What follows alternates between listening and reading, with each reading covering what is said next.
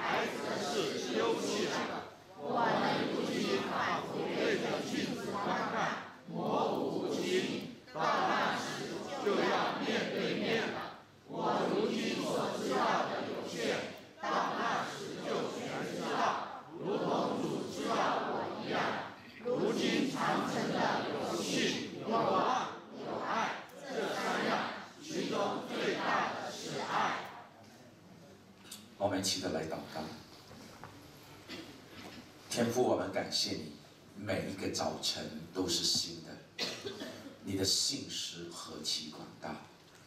主，让我们我们每一天静立在你的恩典里面的时候，主，让我们不要放纵。啊，肉体的事，让我们能够切实的来彼此相爱。今天早上，我们来进入这个性望爱这个完美的整合的真理的时候，求主你借助这永恒的真理来教导我们，这个品格、态度和尺度之间那个完美的整合，是一个何等美的图片。求主你帮助我们，开启我们的心窍，让今天早上。你来向你众儿女来说话，让我们靠着主耶稣基督，能够在企业界里面，在我们的事工里面，我们都能够来追求卓越，能够来将一切的荣耀来归给那三一的真神。我们感谢你听我们的祷告，奉耶稣宝贵名祈求。好，弟兄姐妹们，今天来到第十啊十九课啊，就是啊这刚我们这三天啊这两天，我们又讲了啊，我们首先我们讲啊态度啊，然后那个是先知性的，然后我们又讲我们的态度的高度。然后我们又讲我们的直度的宽度，然后我们又讲，呃，昨天最后谈晚上我们又讲品格，就是啊品格的深度。今天我们要来看这个三角形的整合，嗯，我想。先用一个美国的一个案例啊，一个真实的案例啊，从这个案例里面，我们是看从一个比较实际的角度来看这个一个企业的品格、态度跟制度之间的一个很紧密的一个关系，然后我们再进入圣经的真理里面。我们再一起的来思考整合所带来的完美能力、荣耀、权柄和能力。这个案例呢，呃，可能你们当中也有听过，呃，也可能也熟悉。啊，这个就是在美国，可能跟我们这边不一样，美国是啊，有麦当劳的一个案例。有一天，在大概十一点钟的时候，有一个顾客就走进这个麦当劳，在那前台的小姐说：“我要一份早餐。”那小姐说：“对不起，先生，我们十一点以后我们是没有啊预备早餐的，就是已经不卖早餐了，这是。”这是麦当劳的一个制度。那个人不客气说：“不行，我就是要你们的早餐！”小姐就好，怎么办？就问他的经理。他经理说：“知道是什么，你就告诉他，过了时间就是没有早餐的。”那小姐又来到前台，跟他先生讲说：“先生，我们麦当劳的制度。”过了十一点钟，我们是不卖早餐的。我，那个人这就不得了了！你在美国是可以买枪的，枪拔起来，指着那个小你这个前台的小姐，你卖不卖？我就是要你们的早餐。小姐吓坏了，作为前前台的小姐吓坏了，啊，问了经理怎么办？用枪指着我，那个经理讲说：“还问什么？早餐给他就是了吧。”这个案例呢是一个真实的案例。美国当然是谁都可以有枪啊。其实我这次去美国水土不到的时候，没想到我的长老家里都有几把枪。他说他又来打猎的啊。美国都是可以有枪。啊，这个真实的案例，我想，这教导我们一些什么东西呢？制度是死的，人是活的。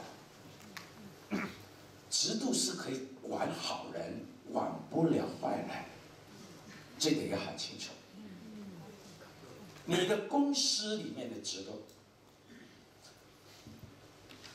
是管不了这一些坏人的，品格比你的这个制度还更重要。制度只管好人，不能管坏人。制度是死的，人是活的，所以制度必须要灵活，这很重要。所以当我们在思考这三个之间的关系的时候，我希望你的脑里面也不断的出现那个范本，就是真理、仁义和世界的范本。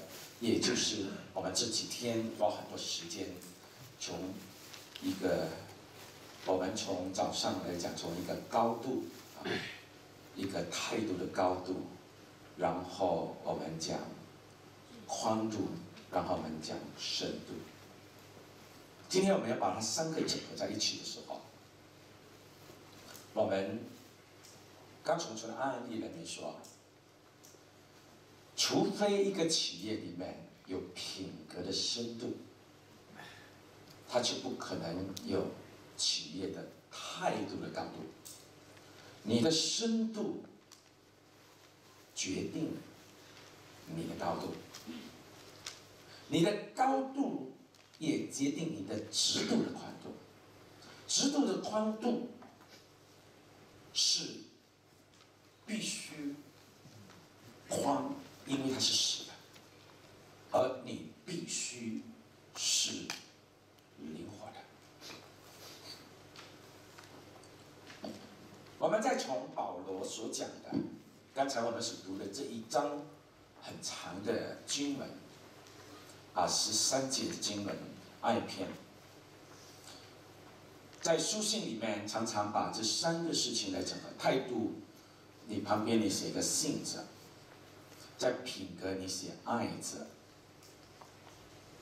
然后在制度望。我们昨天讲到宽度的时候，我们知道企业会有很多困难，有很多的挑战。你一定要知道你的呼召，你知道你的高度的呼召的时候。我们是被呼召解决问题的企业家，企业家就是解决问题的。如果没有问题解决，你不需要做企业家。这个世界不需要企业家，如果没有问题。所以呢，感谢主神给我们很多问题，不然我们就失业了。你告诉你旁边的人，感谢主，我们都有问题。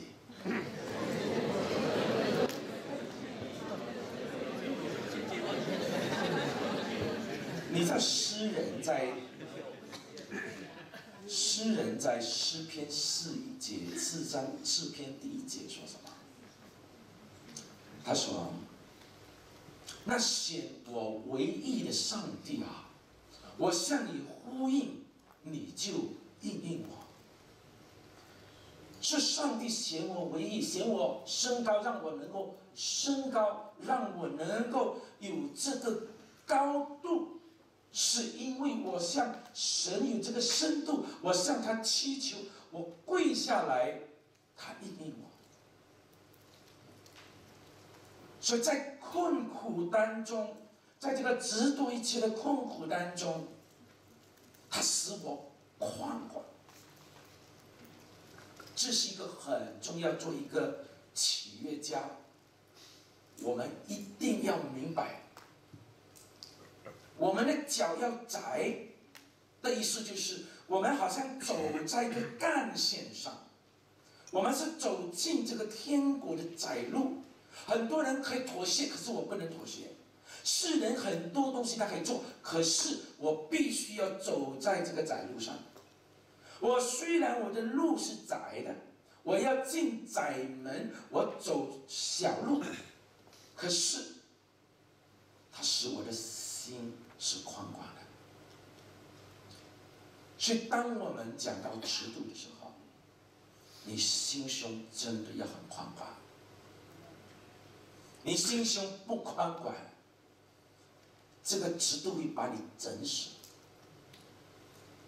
所以，尺度是死的，人是活的。所以我们千万要记得，不要让宽度来界定你的高度，让你的高度来决定你的宽度。换句话说，let biblical principles inform your policy, not policy to inform your biblical principles。让你经营的理念、圣经的原则，来管制你的体制，来界定你的体制，而不是你的体制来界定你的原则。你的原则是不动的。你从高度上去，你看下来是一望无际，整个图片你要看得很清楚。这个是一个领袖的高度带领，能够带来清晰。一个很重要的就需要有高度。可是，在这个宽度上，你站在地面的时候，你无法看到这边是什么，那边是什么的时候，所以你需要有宽广。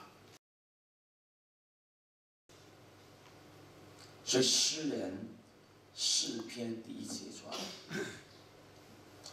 选我为义的上帝啊，我向你呼应的时候，你就应应了。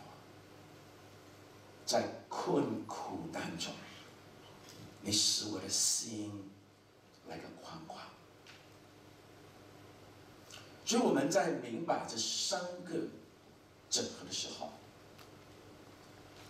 我们明白深度、高度到宽度的时候，我们要知道我们企业一切的力量、资源、意向、体制，这一切，神跟我昨天用了三个原文的这个能力，啊，我们讲 dunamis 就是影响力，你的高度带来影响。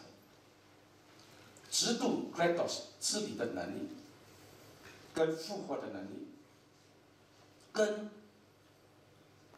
权柄，你的品格所带来的权柄 exaltation，这三个整合的能力是一个以创造宇宙、神救赎人类的那个能力，是无比的能力，是放在我们每个基督徒。里面就好像我们把这个瓦器放在我里面，要显出这个莫大的能力，可是必须带来完美的整合。所以弟兄姐妹们，每次我讲到这个整合的时候，我每次都要再次提醒啊，一个笑话。这笑话可能帮助我们明白这个整合的道理。可是还没有讲这个故事之前，我想那天我有讲了这个以赛亚书第三十四章十六节。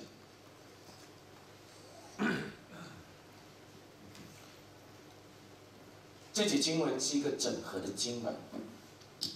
这整合的经文说你要用。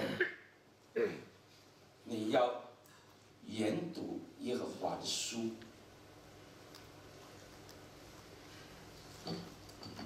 研读就是用你的头、你的上意识、用你的心去宣读耶和华的话，然后你发现这个框住。横的这种爆炸力，我们讲叫天时地利人和那种的引爆，这个是神让我们扩张境界。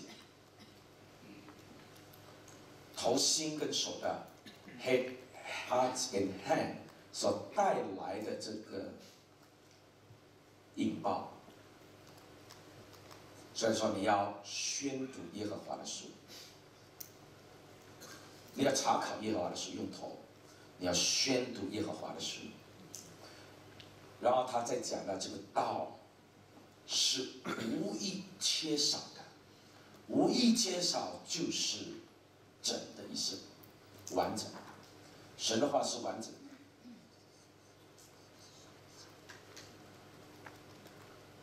神的话的完整性，就是说他没有缺少，一切关乎生命和金钱的事，已经赐给我们了。皆因那认识那以他荣耀跟美的造物来的主，我们一切所需要的，在职场里面，我们一切的挑战。一切的问题，一切的困苦，圣经是有答案的。他说：“无意没有伴偶，那个叫做 her。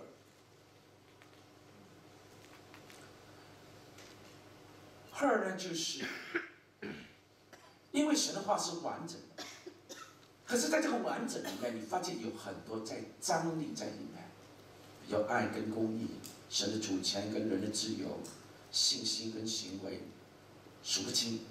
圣经里面每一节经节里面谈到基督的时候，都有一些的张力。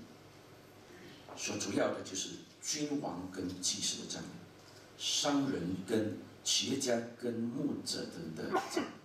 你知道为什么那特会们特别请企业家跟牧师在一起？因为我想把你们放在一起。来引爆，使到来偏买，把耶和华的荣耀偏买全地，能够让牧师跟企业家在一起，彼此相爱是不容易的。我是一个企业家，我也是个牧师，我都知道你们两边的观点，你对对方又爱又恨的。牧师爱你的钱，可是不爱你的品格。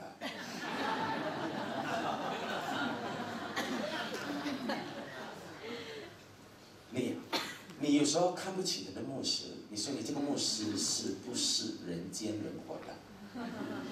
脚路也不着地的，你没办法落地。所以呢，张力是存在的。神的话语里面也充满许多的障碍。很多人不不懂圣经，是因为他不明白怎么整合这个障碍。他不明白，其实这个张力其实就是力量。我告诉你，今天同性恋运动，你把两个女、两个男放在一起，世界就结束了。那你呢？男人跟女人不一样，可是上帝要结合他们在一起。君王跟祭司，圣经里面充满张力，所以他说，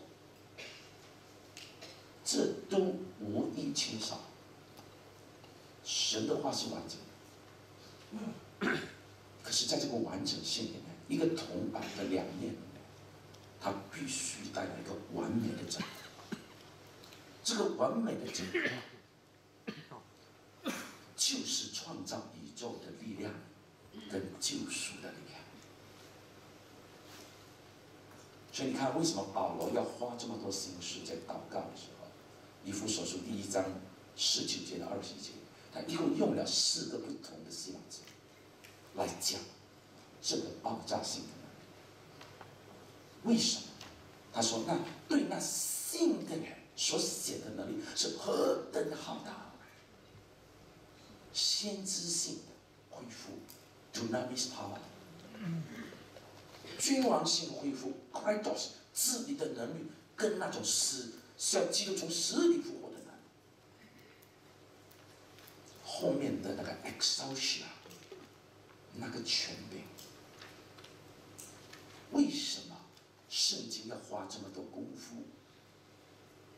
讲能力就好了，为什么要把荣耀、能力跟权柄整合在一起？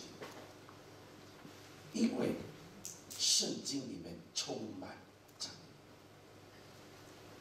所以神话是完整的，可是无一缺少。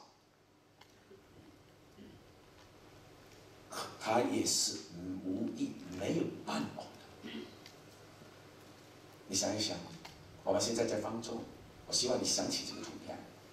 当时诺亚叫那些每一对一对的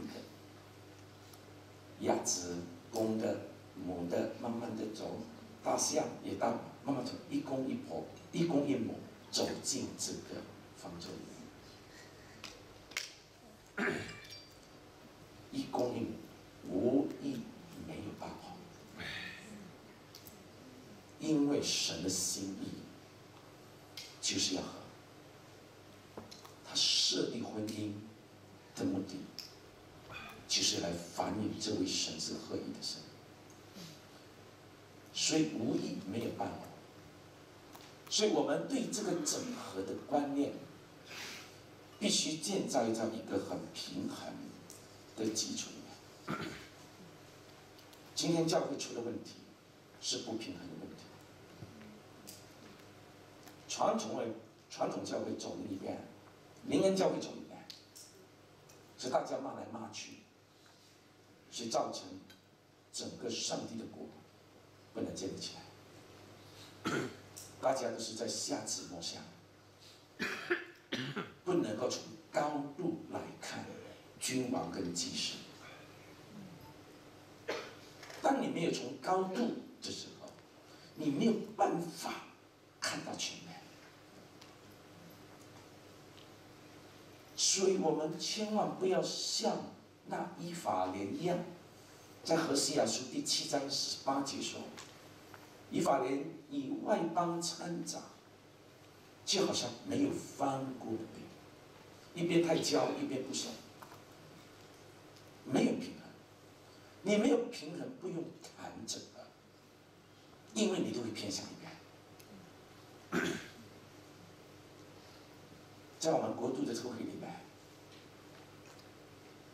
我们都来自不同的背景的人，最美的图片，虽然你跟我是不一样的，可是我们天人合一。我们不是统一，我们不是穿一样的颜色。你的老公跟你老婆是长得跟你不 一样的就有问题了，所以呢，在不一样当中，不是统一当中，可是在这个合一里面，这是神心那整合里面。所以他说：“因为我的口已经吩咐，神的命令是安定在天。”他的话语是安定在天的，神的话一出，且不突然返回的，他必成就他所喜悦的事。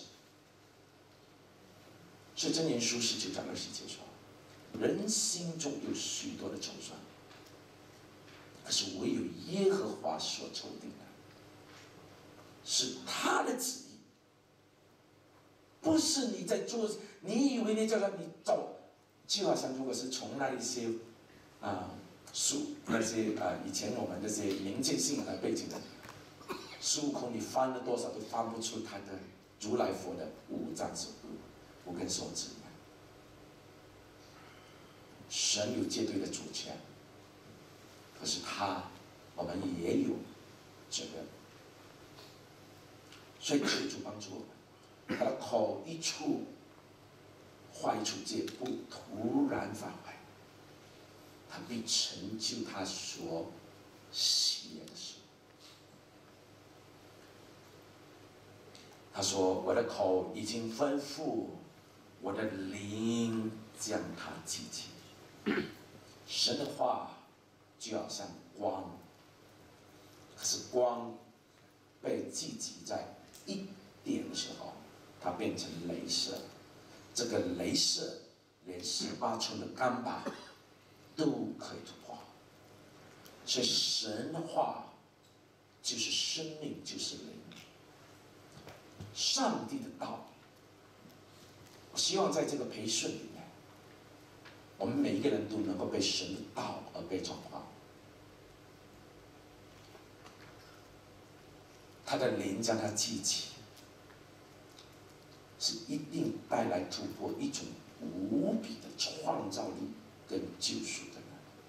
这个就是我们所讲的这个整合所带来的力量。刚才我说了，平衡很重要，是一个整合的基础。你没有办法平衡制度、品格、态度的话，你不可能这么，你会偏向一边。所以今天有人在谈制度，不谈高度，而不谈态度，也不谈品格，问题很大。如果你着重一个，你可能有高度、有深度，可是你没有宽度，你成不了事。这三个受高者的身份，都同样重要，这平衡很重要。所以我们在上这些课的时候，是在帮助我们的思想里面，我们在走是基督的道路，它是唯一的道路。所以平衡是基础，平衡是整合的基础。你看上帝所造的每一只鸟，都有一双的翅膀。你想一想，如果只有一只翅膀的话，他怎么能够翱翔在上帝的恩典空中呢？是不可能的。是求主让我们能平衡。神造我们很奇妙。我昨天讲我们的 RAS，我们的我们之所以能够，我们的思想有那种连结性，是因为在神在造我们的时候，他很注重这个平衡。当我们的身体里面，我们稍微这个化学物质失衡的话，或者是这个。啊，很很微妙的化学物质一失衡的时候，我们的脑细胞就无法从一个细胞把信息传递给另外一个细胞。这个就是原因，为什么有些人站上台的时候，他的头脑是空白的。前天晚上才背的好好的，在家里背给老婆听，还蛮不错的，可一上台就糟糕空白，为什么？因为他紧张，你紧张，你的化学物质就失去平衡了，一失去平衡，你就空白了。为什么空白？因为你的脑细胞的一个信息无法传递给另外一个信息，中断。所以这个必须要一个连接，即时性的连接。我每次想这个笑话是帮助你明白平衡的重要性。有一个很传统的教会，在传统的教会死气沉沉，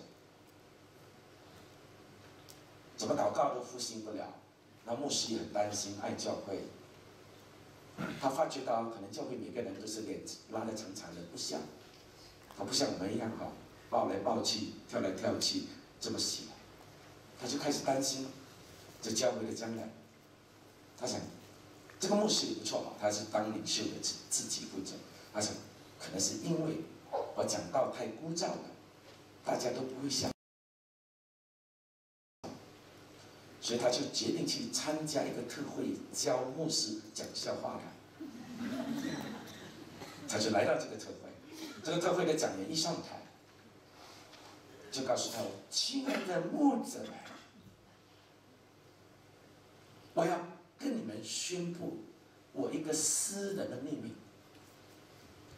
这个秘密呢，就是我人生在最幸福美满的那一刻，是我躺在一个女人的怀抱里，而这女人不是我的太太。这时候下面的牧师就糟糕，来错会了，都开始紧张了。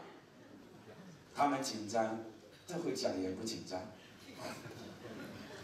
亲爱的木子，你知道这个女人是谁吗？就是我的妈妈，亲爱的。哎，那个牧师听了，哎，这个蛮幽默的，我下个主日要用在我的教会。他下主日来上台的时候，前排当然传统教会就坐了知识长老。他上来说：“亲爱的弟兄姐妹们，牧师有一件私人事情要来向你们宣告。”我的人生最幸福美满的一刻，就是当我躺在一个女人的怀抱，这女人不是我的什么。哇，在传统教会里讲这种话，前面那个长老就是眼睛瞪着那个牧师，要把那个牧师吃了。一会场一紧张，就好像空气被抽掉一半。一紧张，那个牧师的话是物质失衡了。一失衡就空白了，一空白了他就紧张了，一紧张就说：“糟糕，我忘记那个女人是谁。”我希望你们明白这个整合的道理了吗？平衡很重要。我告诉你的平衡不是你自己，你要记得。你把神的道制衡当中读出基督，你会发现你人生会越来越平衡，你的恩高会不断的加倍。你站在讲台，你也一点都不担心，就是总理坐在下面，你不怕他们，因为你是君尊的祭司，圣洁的国度，所以平衡很重要。以基督为中心的企业，是可以转化这个世界的，是可以把神的荣耀带到地上。所以我们求主来帮助我们。何牧师给我那个笔，不知到哪里去了。再来哦，谢谢，还是我同工好好听。我现在有这个，我现在可以回来这个班啊。我今天有点不照着这个地方讲的是重要的一些思想，我们必须要把它，因为如果我们不懂得整合，我们看下面会越看越乱。因为在字函当中都有神的这个话语里面的奥秘，你是读之不尽，你是挖其不完。基督的一切的丰盛，神一切的丰盛和奥秘，都是在基督里面。哎，我们那那个不见了。好，我们来先看这一个啊。我们要知道，呃，在我那个那本书一开始的时候，我写了个序，就是有讲说书信是解析基督的，我就不讲了，你们可以从书上。可以看，在解释这个基督的时候，是照着神的形象所造的新人，就是这三个的整合。这个至少在这个会里面，你一定要把它印在你的心肝上。这个头所代表的是先知性的，是你的态度、你的高度。然后仁义的君王就是你的制度，圣洁的祭司就是爱与品格。你看见神在他道里面，跟他所创造的世界里面，你发一道白光是三个主要的颜色组合在一起变成白光。所以虽然有时候我们看到青或是红，另外是蓝是吧？就是有时候我们找不出一点，可是有时候我们看的是白光，一个很完美的整合。所以刚才我们所读的，如今长存，有信，有望，有爱，最大的是爱。我照过很多教会，我听过一些很多对这些经文的错解。他说爱最大是因为在永恒里面不需要信，也不需要望。这是用人逻辑来解释新闻，是错误的，不符合圣经。圣经没有这么讲。圣经特别，你就在 King James Version 里面，它用的是 abides，用一个 s 字。通常你前面就讲三个，你的这个 abide 就不可以放一个 s 的。为什么他又好像把这三个看成一呢？因为是一个完美的整合。所以我们千万很多人错误解经，因为在永恒的因为你不需要信心的，听起来好像很符合我们的逻辑。其实，在原文里面，如今不是讲现在，有很多人用这个 now。他是在讲，哦，对不起，谢谢。他是在讲这个完美的这个整合。其实，在永恒里面，有信心，有盼望，有爱。爱之所以最大，不是因为只有爱存到永恒。爱之所以最大，我下面也放了好多的原因啊，我会参差把它放在我们的企业里应用上，呃，这个整合上。我一个一个的，我们大概快快看一下。这下面就是这几个的原原因啊，我特别的把这三个图放在一起，所以你可以有一个对照。我刚才一开始的时候用一个案例，是要告诉你这个次序。你有深度，有品格的深度，才可能有态度的高度。有态度的高度，才能够有君王的宽度。这个次序很重要。深度有了，才有高度；高度有了，才有宽度。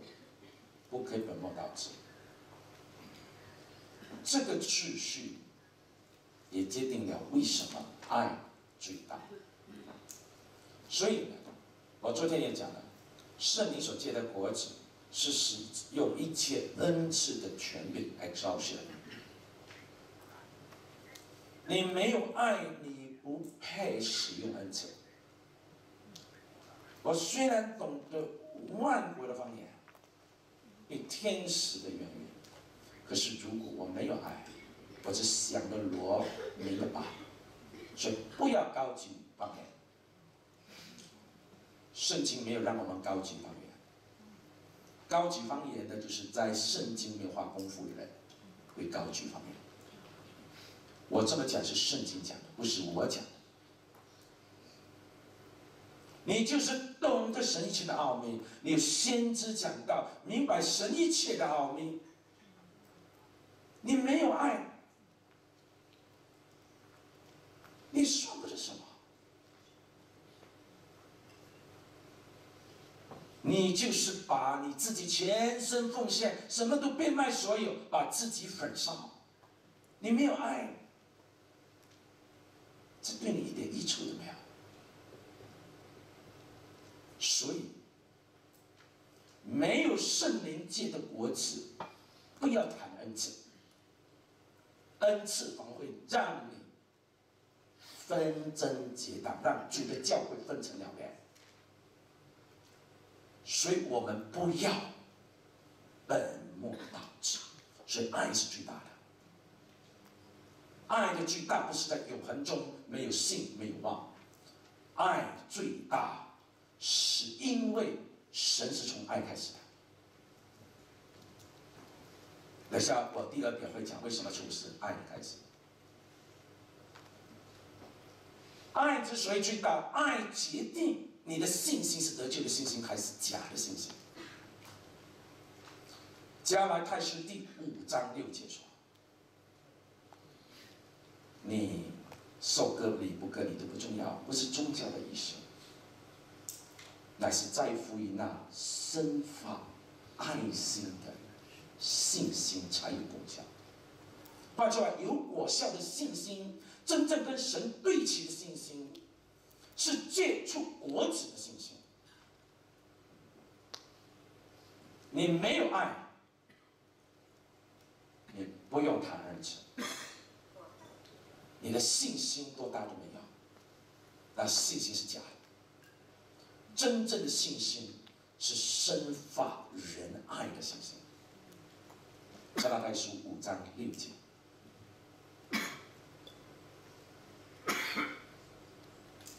另外，爱巨大。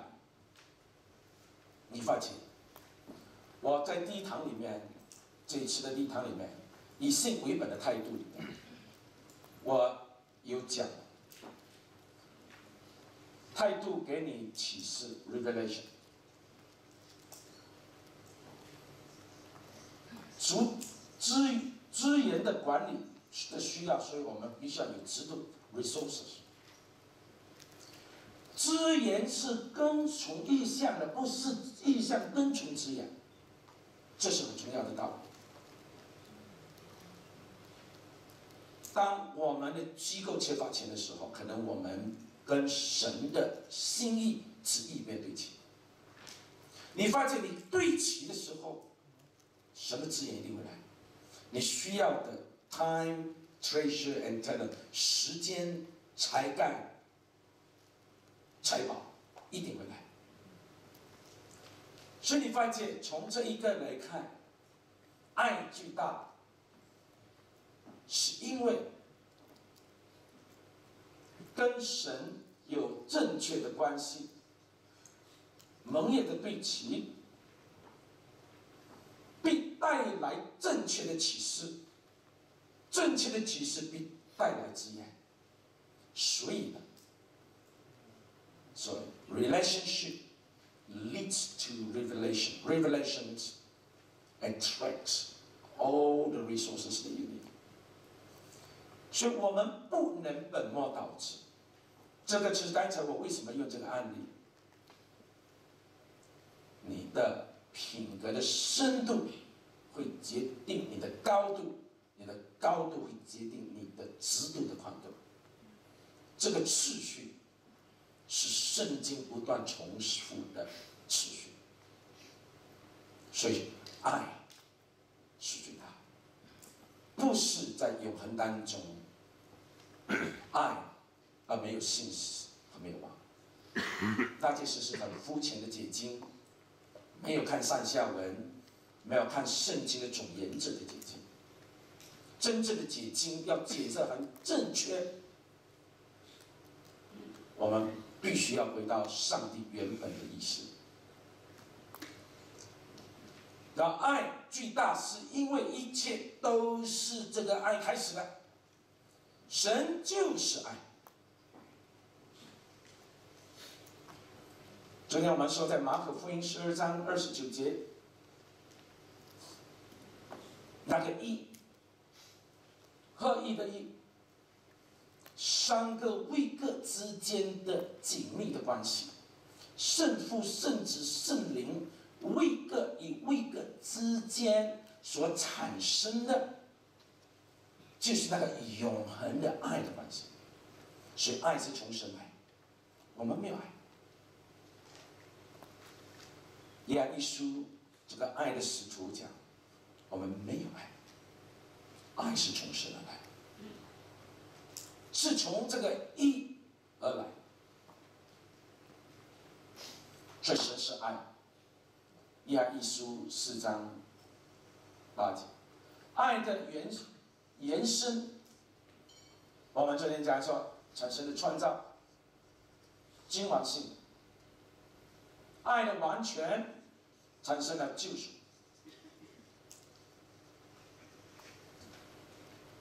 人的观点可能想说。哎，人犯罪了，上帝才想到这个？不是，神早在还没有造人之前，还没有造这个世界之前，他知道人会犯罪。所以以父所书第一章世界说，从创造世界以前，我们在基督的面前，他已经使我们成为圣洁，没有瑕疵，他已经拣选了。你还没有存在，这个世界还没有之前，他已经写上你了。都是因为是神之爱，祭司性和君王性，这是整个神的国度的两个很重要的主旨。所以你发现是从先有爱了，你才有宽度，你才有深度，你才有君王性，才有即时性，所以爱是最大。所以，所以当神把爱，因为神的爱，他将信心赐给我们，我们才有高度。我们没有深度的神的爱的话，我们没有高度。所以，因为神的爱，他就把他的得救的信心赐给，然后我们有了信心，我们才能够盼望那永恒的基，那我们才可能有光度。就昨天我们在彼得前书第一章三节到十二节所讲，你看背景里面所讲说，我们在经过患难当中，我们还有大大的喜乐，我们还有满有的荣光。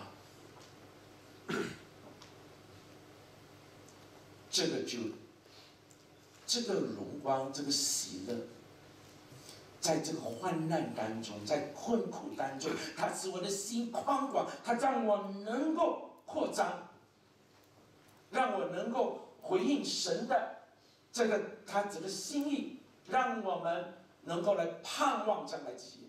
所以他特别讲到那个信心比那金火的那个金经过火还能坏的信心还要更宝贵，因为他给我们一个不坏的观念。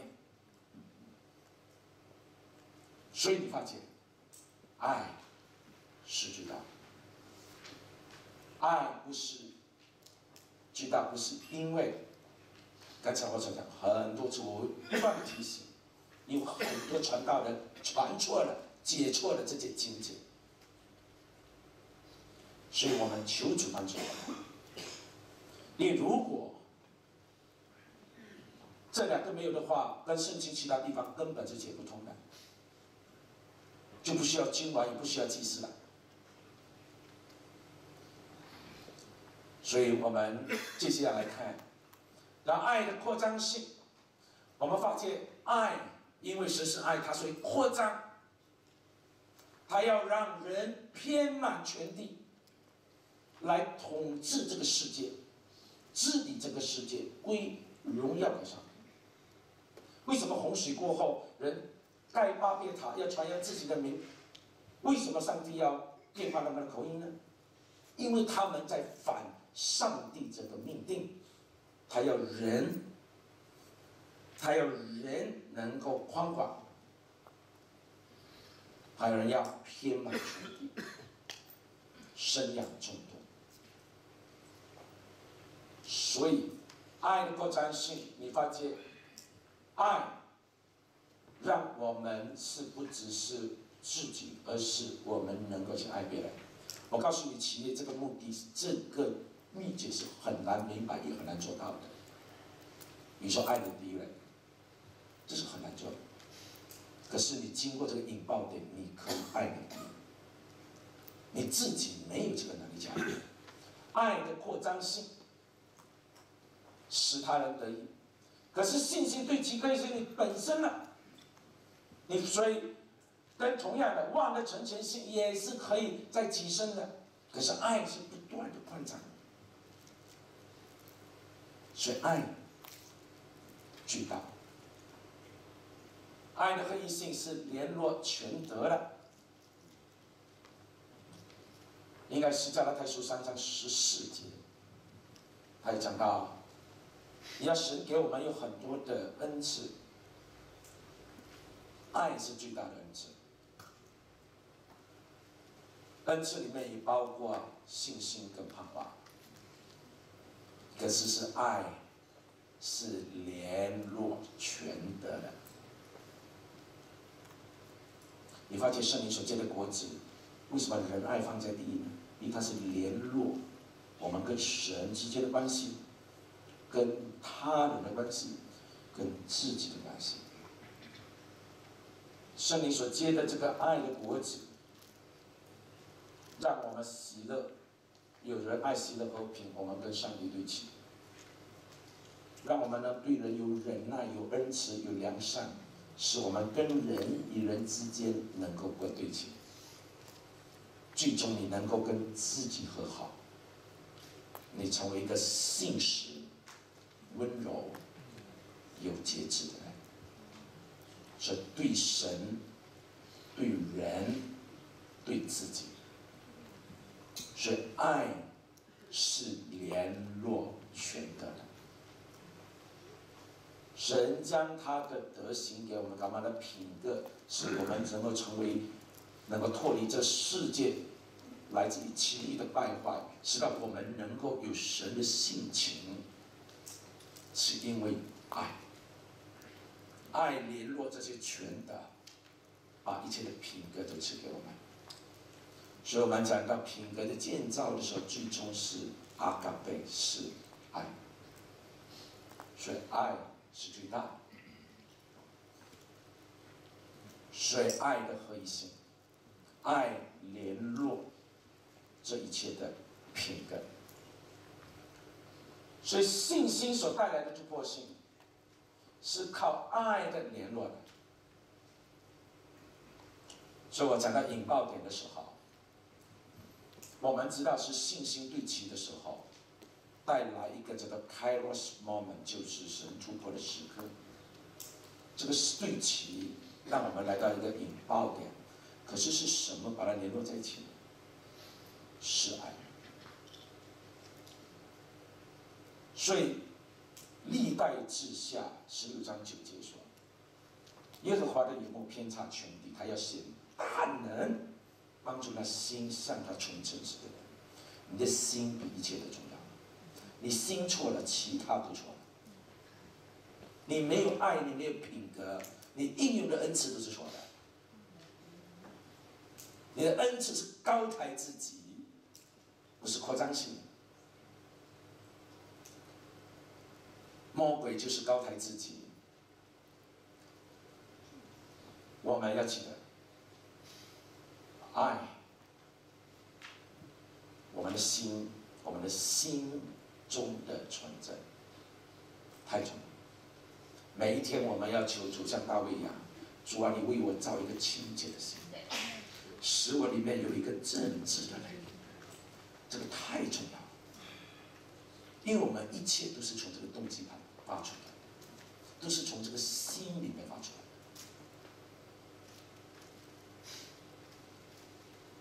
我人生最经过巨大的低谷的时候，神要对付的是我。心里面的深处。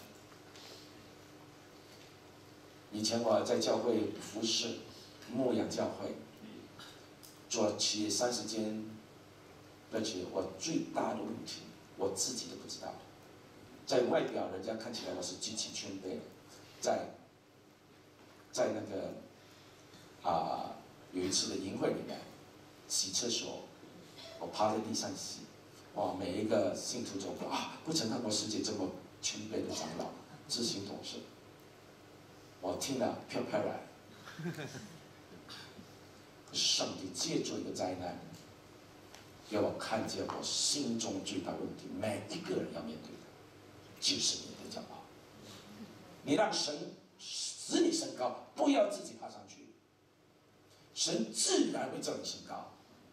他施恩给谦卑的人，他阻挡骄傲的人。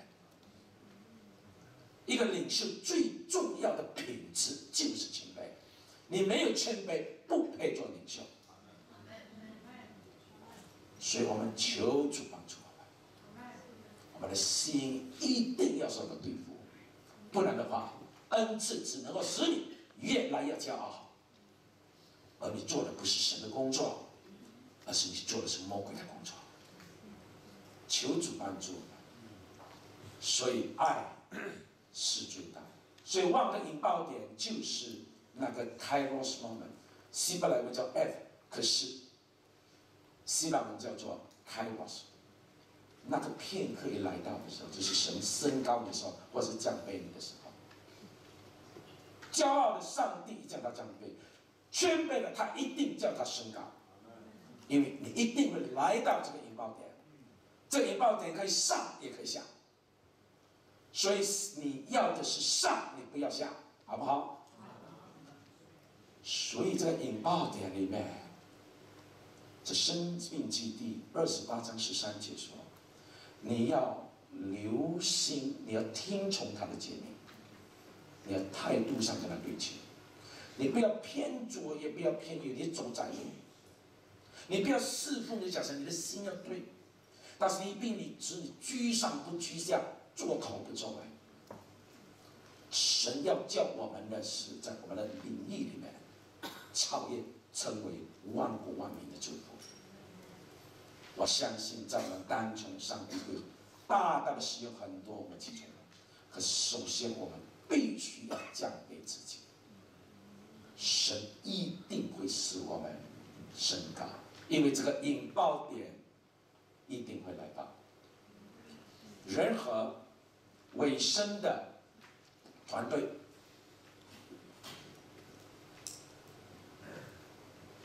我祷告神会借助。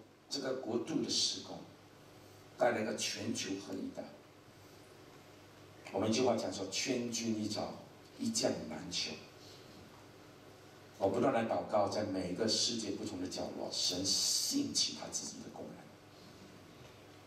有国度的胸怀，走窄路进入这个天国的路，丰丰富富的进入，有心胸宽广的人。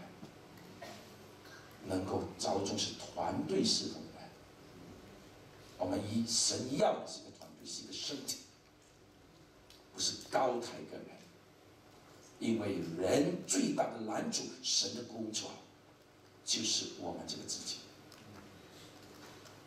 所以约翰福音三章三十节说：“主必兴旺，我必衰。”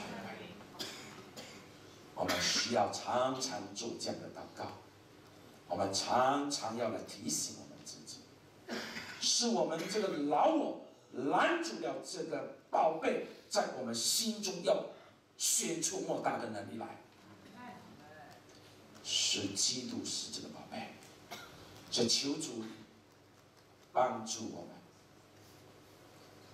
所以当我们有人和的时候，我们一定会有。地利，我们就会能够摆正我们自己的意志。这个浮躁，这个诚信，特别是讲的，你对你自己要诚实。你不只对神的诚实，对他人诚实，你对自己要诚实。你有没有回应神的呼召？你有没有摆正位置，让神亲自的来为你征战？所以历代志下二十章十七节说，先知告诉犹太跟犹太撒冷的人说，这一次你们不需要征战，这一次你只需要站立摆正站立，你只要摆好了的位置，你看上帝如何把你的仇敌交在你的手里，因为耶和华一定要为你征战，耶和华为你征战，你一个人可以追赶一千人。两个人可以死一万个逃跑。你想，如果我们当中现在每两个人可以追到一万个人，我们这边可以影响多少人？引爆点是可以的，可是要记得，神神不用乌合之众，你要先做门徒，不要做糊里糊涂，做真正的基督徒，明白神的心意的基督徒。所以，我们有地理诚信带来。市场的优势，你发现，当你在上帝面前蒙恩，你会在人的面前蒙恩，你会站在君王的面前，他会带给你影响力，因为他会赐给你天使，因为你的完整的制度的时候，你可以。抓住商机，你不会失去神眷顾你的时候。今年最可怜的，圣经不断的提醒他的百姓说，他的百姓常常失去了神眷顾他的时候。路加福音十九章四十四十四节，耶稣为耶路撒冷哀哭的时候，只给了一个原因，因为他们失去了神眷顾他的时候，神要给他引爆点，他失去了，他失去良机了，因为。他没有完善的制度，他没有办法来影响这个战战争。神其实要把最好的给我们，他为什么花这么多时间给你这么多挑战？你以为他看到你这么痛苦，他很喜欢吗？他是因为看我们太不像耶稣了，我们不像他，怎么跟他一起做王？他的天国不是搞乱了？他怎么能让我们这些？品格都没有被雕塑，能够一起做王呢？所以求主帮助我们。来，最后，良善的国度的企业，我们要记得啊，我可能这一堂会应该有会议，现在我们剩下多少时间？是不是？好，刚好我可以来总结这个。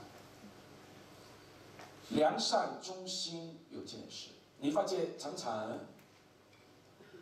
在教会里面啊，忠心良善讲很多，可是很少讲有见识的功能，对不对？这很多遗中在教会，我老实话说，不知道会忠心什么，他没没有见识的忠心。是完美的整合，我们要看到这个时代缺乏些什么，我们要传讲这些先知性的信息，让人能够来跟上帝对齐。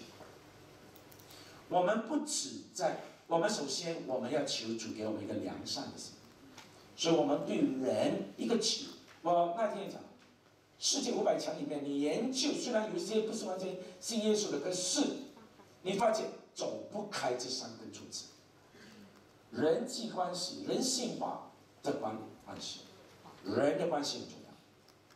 一个企业人际关系不好，这个企业完蛋。人是在这个企业里面很重要的，这个之间的关系，因为没有合一的团队，你不用打仗。今天魔鬼最厉害的就是搞破坏。你发现每一次复兴来到的时候，魔鬼一定要来考验我们，放一些让你破坏合一的东西，会放在团队里面。我们不要做魔鬼的工具，我们要堵住一切破口，我们要竭力的保守圣灵所赐合而为一的心。我们要从自己开始，我们要谦卑，我们要对真理前面我们要谦卑，我们要忍耐。我们要成一个温柔的人，当我们才能够彼此相爱，我们才能够以爱来彼此联络，爱才能够联络起这个合一的团队。我告诉你，全世界没有人能够递过一个真正被主爱连接在一起的教会，爱一个团队。为什么教会能够复兴？因为在教会里面这个爱，很重要。爱，让我们见到一个良善的企业，然后一个忠心国的企业，一个有诚信的企业，让每一个人回应自己的呼召，每一个人摆正位置，里外一致，对神诚实，对人诚实，对自己也诚实，这是一个关系，这个诚信。我们不要骗自己，也不要骗人，也不要，你骗不了上帝。可是很常常我们骗人又骗自己，自欺欺人。所以我们求主帮助我们，也成为一个有诚信的企业，然后有见识的国度的企业。我们要追求卓越。这通常因为企业里面没有好好的经营，按照圣经的原则经营，所以教会对这个字眼成功啊、卓越啊都感到很怕。你不要把我的教会把你社会的什么制度带进教会来，是有原因的，因为我们把世界的价值观带进来。可是我们天国企业家应该把圣经的管理方法、制度带进主业家，因为我们是有见识的。所以你发现为什么教会很吵，谈要有见识呢？我只要有良善、有忠心就好。我们在这里哈利路亚，这边哎哎呀呀不要紧。所以今天为什么教会造成很多这种星期一到星期五哎呀呀的人？只有来了星期天的哈利路亚，为什么老是这样呢？因为他们只要有良善忠心就好了，不管我们要有见识。我们在企业里面也是敬拜，不要把你的企业分为一个俗的工作，你的工作就是敬拜，你的工作就是完成神在永恒中造我们的目的，所以求主帮助我们。我希望我们大家能够看见这个完美的图片，这个完美整合的图片是来自于基督复活的大门。我们一起站立，我们一起来祷告。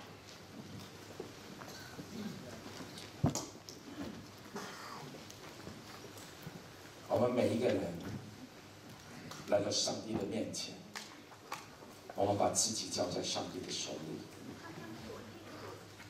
让我们祷告的时候，我们求主监察我们的心思，试炼我们的意念，看我们里面有什么恶行没有，引导我们走这个永生的道路。求主让我们认识到这个品格。是最大的、最重要的。我们要建立起这个企业家的天国品格的素质，我们必会带来高度和宽度，而神必定要成就他自己的工作。我们求主挪起一切的拦阻，我们每个人心在上帝面前立志说：“主啊，对付我这个老我。”除去我们心中一切的骄傲，让我们能被主来升高，将主耶和华的荣耀、认识耶和华的荣耀带到地上，遍满全地，就好像海水充满海洋一样。让我们成为一个良善、忠心、有见识的仆人。给我们有一个完美的整合。天父，当我们看见基督那完美的形象的时候，你就是那神荣耀所发出的光辉，你就是神本体的真相。你用全能的命令来托住万有。你不止帮助我们创业，你给我们守业，给我们看见神你自己的心意，乃是你自己的大使，接着你的大使命，把天国的荣耀、天国的文化完全带来到地上，让我们脱去这个宗教的外衣，脱去这个里外的不一致，脱离虚假。进入真实，给我们在我们的企业里面有一个很高度来看神全盘的计划，也看见主你给我们的命定，给我们知道我们活着是为什么。谢谢你主，求主你继续的来带领我们，让这个特会我们每一个人的心思意念都被转化。都完全的来归向主耶稣基督。阿门。愿你在全地，你的名被高举起来。阿门。让我们每一个人都能来传扬基督，建筑我们的企业，活出基督。因为我们活着就是基督。我们谢谢你，听我们的祷告，奉耶稣。宝贵名祈求。阿门。愿上帝祝福我们每一个人，将一切的荣耀归给上帝。阿门。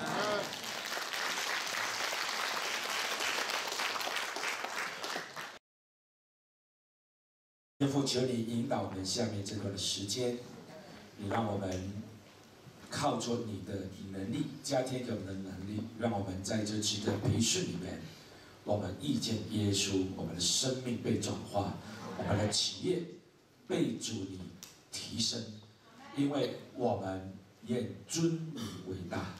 就求你帮助我们，把以下的时间，啊，这问题解答的时间，恭敬仰望交托，奉耶稣宝贵名祈求。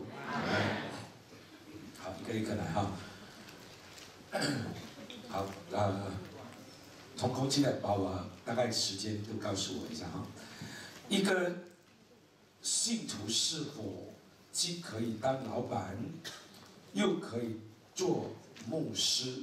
这两种身份是要怎样的平衡啊？你是在问我了是吧？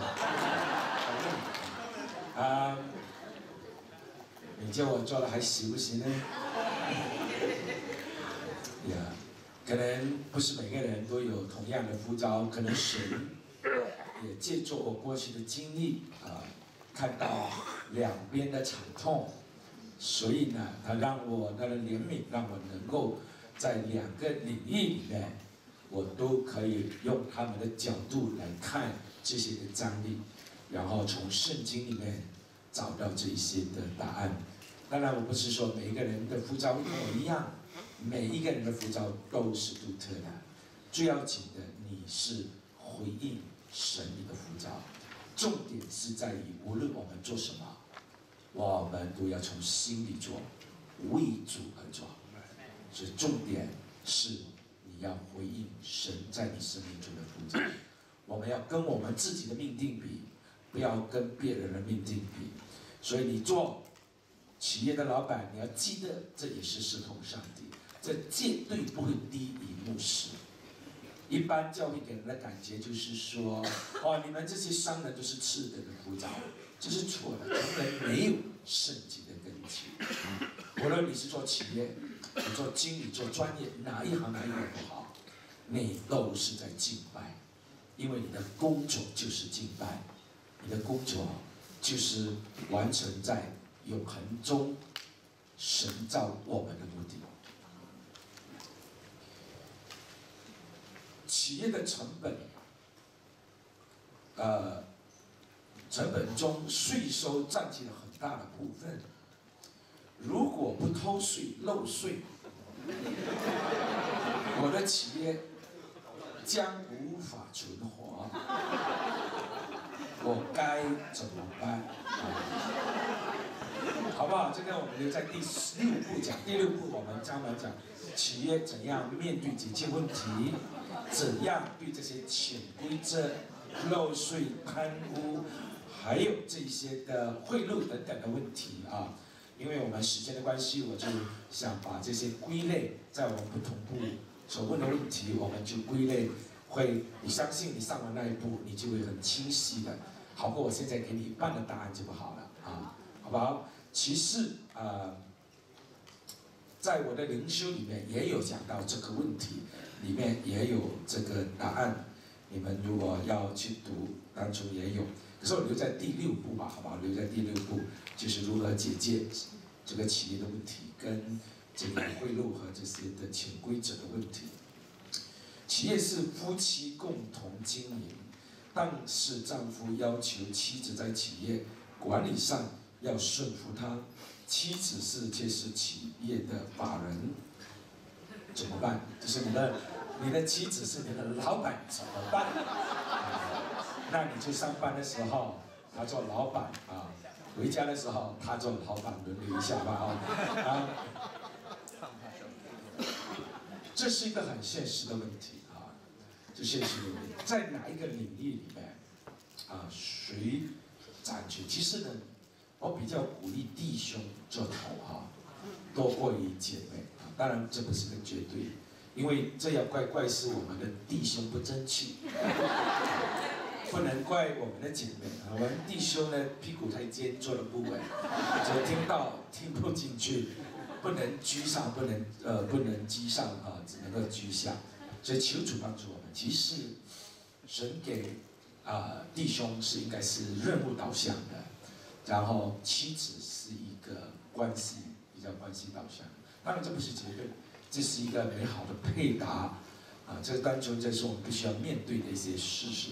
那我只能够说，你在公司让他做头，在家里让他做头吧。啊，可是这不是一个完美，这不是啊啊最好的。可是这是没有办法中的最好，因为在企业，他既然是你的老板，当然你要听老板的话。好好好，我们啊，然后我们讲听话哈，你要记得听命胜于献祭，这个。真理很重要。换句话说，我们要把我们自己的位置摆正，很重要。因为在这个世界本来就是受去玷污，造成许多的不平衡的事情。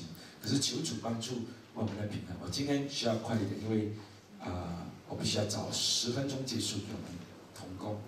在进行股票买卖的投资时，往往要做呃止损啊。Stop loss，我应该听得懂。牧师，你谈到信心对其其实会带来资源的配合，但现在，呃，现实中，不论 不论多有信心，亦会做呃呃，也会做止损。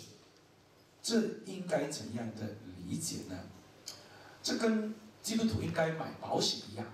啊止损就是 stop loss 呢，就好像个保险一样。呃，其实这个在我们地产南京的啊，特别跟南京打广告，就是抓住商机里面，应该是那一步我们会谈到这个关于我们基督徒应该买保险吗？啊啊，就在投资里面应该要止损吗？这些东西。可是特别你在买卖这种，你更重要的，你这种。进进出出很快的，你是不是在赌博？一线之差。你可以是一个投资，可是你要记得圣经的原则是贪财是万恶之根。圣经的原则就是知足加上俱全是大理。人常常巨大的问题就是贪所带来的。是用许多的愁苦将自己吃透了，嗯，因为过去我自己有这样的经验，我可以在市场买卖一天可以赚将近一百万，很好的收入，何必让团队那边哎呀，辛辛苦苦都没有赚这么多钱，一天数字上上下下进出就是对了，可上帝也在那里也教导我一个很重要的功课。其实这是赌博吗？赌博是绝对不可以的。你的贪念可能会使我们跌得更惨。可是止损是应该的，OK。所以你用 stop losses，因为你在睡觉的时候，很多人我认识的，他可能几呃有七千万的身家，在睡觉的时候啊几千万。醒来的时候破产，很多很多，在各业之间，全球的他没有止损，结果呢，他是 open naked position，所以英文自己去讲话叫做 when you when the tides go up you know who is swimming naked，你懂意思吗？当潮水退的时候，潮水淹住大家哇玩的很开心，大家。赤裸裸在里面，别人看见。可是当潮水退的时候，你就知道 whose position is not protected。所以呢，止损是应该的。可是我不鼓励你这样的经历，因为这是贪财万恶之根。这个我们会在以后在这个啊风险那一刻，希望我们会比较仔细来看那一些的圣经的原则。如何企业家？认为呃呃做好一定要钱，牧师觉得要有真理的平衡的真理。哦，这个问题可能就是说，你要做好，你需要钱。我没有否认钱的重要，我没有否认资源的重要，不要误会我的意思。钱是重要，钱让这个资源是让我们去完成，所以不要低看资源。可是你发现吃也是在排在最后的这里。我们常常有一个错误的观念，我们以为要做好就追这个，其实圣经怎么告诉我们呢？圣经告诉我们在箴言啊，啊，他说，英文是这样翻译的：Don't wear yourself out to chase after wealth。不要每一天都在想老是追钱。他特别还讲说，这个钱会长翅膀，像鹰一样飞掉了。各业之间，你的钱财可能没有了。一些职场人常常追钱的，我告诉你，你说。你如果是真的基督徒，你不你是假基督徒，上帝不管你了。